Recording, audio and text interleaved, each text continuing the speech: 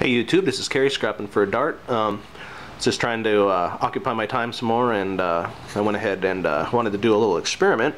Um, we were talking uh, yesterday when I was doing some videos, I was telling you about some of these power supplies that I have. Um, I've got a lot of them. Um, this is just a few of them. Um, I wanted to do a quick experiment and see you know how much more money I could make if I pulled one apart versus leaving it whole. Okay, so I'm going to go over here and show you kind of, I just did a quick breakdown. Um, this, these two power supplies, that one there and this one here, were identical, same weight. Um, they weighed three pounds, four ounces each. Um, the first one, all I did was just cut the wire off and left the other unit um, completely whole. And then I wanted to see what the price difference would be if I took another one all the way apart, separated the screws and all the metal I could pull off my uh, low-grade board, and then I separated out the board. Um, if you remember, there's nobody in my area that buys low-grade board, so this is just wasted weight. So this is garbage. So I'm going to lose that weight. Um, here was just the wire that I would cut on this one here. You can see it's cut right there. On the one that's open, you know, there's a little bit more wire in there. So I got maybe another ounce or so of wire from this one here. And then uh, this is just the, the fan and then the transformers and the other windings and stuff that'll go as shred and then the two heat sinks that were in this one are here. So I weighed everything out, and I was really surprised um, by the result. Um, like I said, three pounds, four ounces for a complete unit. If you cut the wire off, um, it's eight ounces for that wire. Um, so in my area, I get a dollar a pound. So half a pound is 50 cents. So just this is 50 cents. And then the rest is weighed out at 20 cents a pound so I had to do the math and break some things down into some ounces. But it comes out to 55 cents for the for the main body.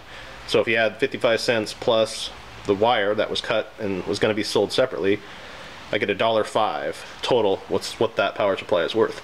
Okay if I break it down um, the wire is going to be the same basically. It's pretty close to half a pound just a little shy of a few ounces but I'm going to say half a pound. So the wire would be um, uh, 50 cents. And then the shred um, the motor and then the transformers do the math break down into ounces is only 16 cents for that pile. Uh, the aluminum was only uh, 5 ounces. So breaking it down and doing the math is another 16 cents for the aluminum. Uh, the steel I only get 4 cents a pound for. Um, there was 1 pound 8 ounces of steel. It only comes down to 6 cents for that and I lost the board weight okay? So um, if you add everything up um, including the wire being cut off I only get 88 cents broke down. So I'm making more money by just cutting the wire and leaving the unit alone as a whole. So um, I'm not sure what your areas are going to be like and what your scrap yards are like um, but you'll have to do this on your own and determine if it's worth your time to open these maybe you can make more um, the only way I can make more is if I had huge amounts of these power supplies that I wanted to spend the time. I might be able to get, um, some yards pay you, like if you have more than 50 pounds of aluminum or whatever, you might get another 5 cents a pound or something. But even then, it's still not worth my time. So um, to me, this is a learning experience. I will no longer open these and break them down. It's just not worth my time. And obviously, I'm losing money by opening them up and selling the parts separately. So um, all I'm going to do is cut the wire and then sell the, the metal unit as a whole.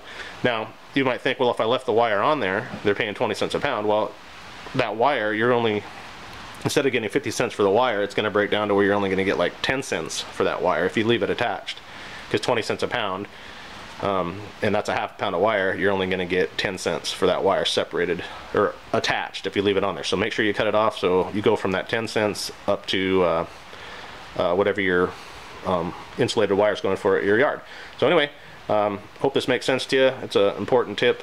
Um, again, this is all my findings.